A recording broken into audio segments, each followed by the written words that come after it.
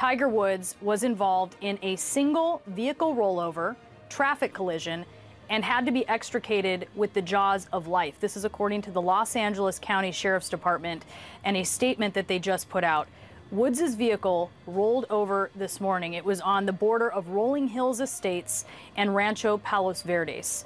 Uh, the Sheriff's Department says that his vehicle was traveling northbound on Hawthorne Boulevard at Black Horse Road when it crashed. This is uh, aerial pictures of the area where Tiger Woods uh, was involved in a single vehicle accident.